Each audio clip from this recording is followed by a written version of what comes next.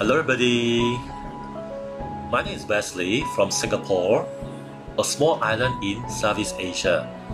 I'm so happy to meet all of you today. For my right eye, I have zero vision level, whereas on my left eye, I have less than 40% of vision field.